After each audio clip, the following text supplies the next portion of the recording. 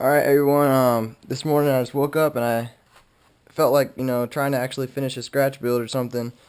And I thought about making a Zephyr because I don't know, I never flew a wing before and, you know, I had a whole bunch of micro parts laying around from uh, when I, my Walkera helicopters and stuff like that. So um, we got some digital servos here from the Walkera, the speed controller, it's 20 amp. And we got a, a Tiger 1 or 1302 motor, 5900 kV. I don't think this motor is going to be big enough to uh, push this very fast or if at all. I don't know. I, I haven't tested on it yet because it's snowing outside as you can see. Um, so just pretty much just built it um, and got done with it. But it's cool because uh, it uses the the Walkera gyro out of an M120 so uh, it's got you know like flight stabilization. Here I'll show you an example.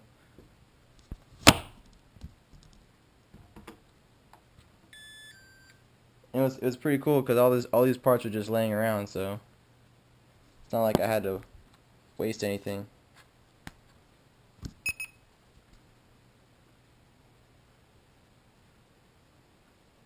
There we go. Try it again.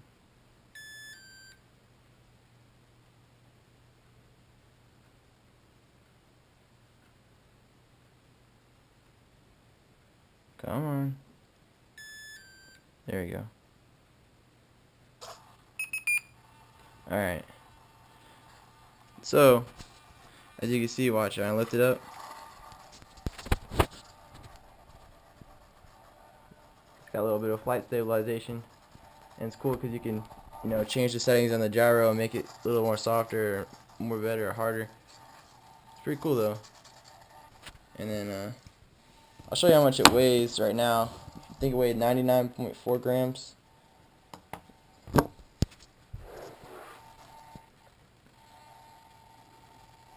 Zeroed.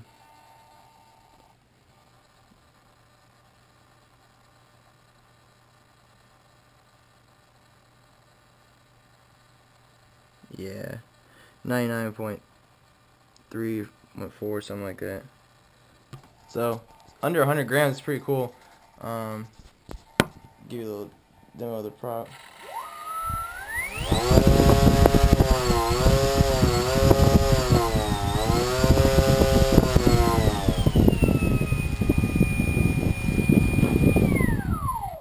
I don't know if it's going to be strong enough to push it. I mean, I can feel the power a little bit. I mean, hopefully. But if not, I'm going to try to find a better motor and maybe maybe make it two cell, but I kind of like trying to keep it one cell because just you know it's small and unique kind of.